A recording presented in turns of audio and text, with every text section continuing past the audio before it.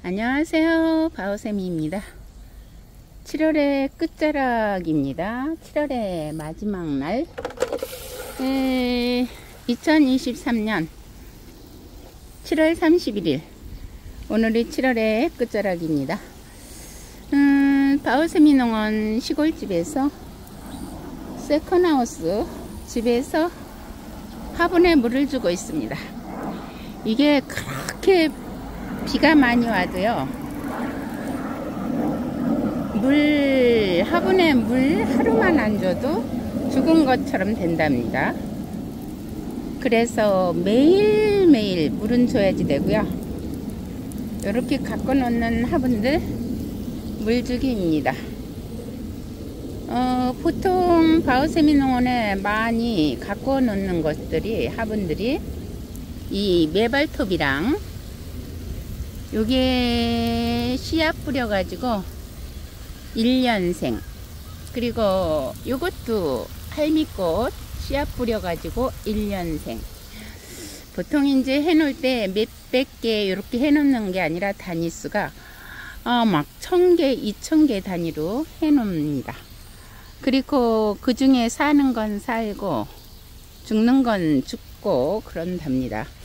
그래서 이렇게 화분에 물주기를 하면서 이 화분이 신기한 게 물을 주면 쌩쌩하게 있다가 물 안 주면은 죽은 것처럼 축 늘어진답니다.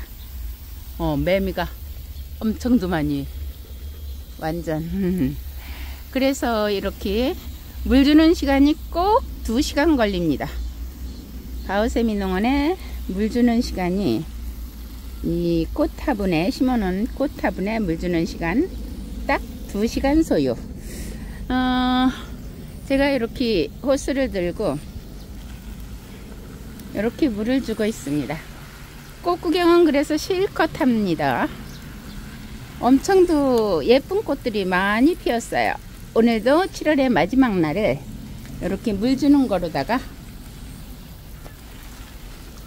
시작한답니다.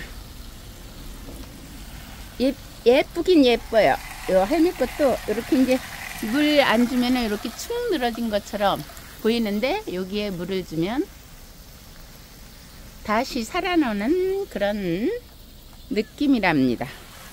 예쁜 꽃들 보면서 3분 영상으로 바오세미 농원을 찍었습니다. 7월의 마지막 날 이렇게 물 주면서 바오세미 농원에 물 주는 시간이 꼭 2시간 걸린다고 인증사 찍으면서 어, 어, 모든 화분들은 가꾸기 나름입니다.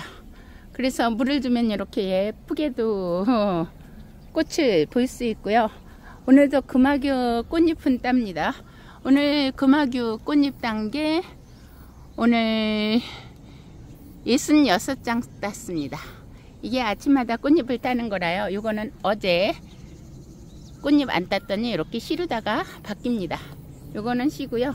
일찍 대등 벌써 시루다가 변해고 이쪽에는 비가 와서 쓰러졌는데 여기도 금화교가 쫙 있습니다.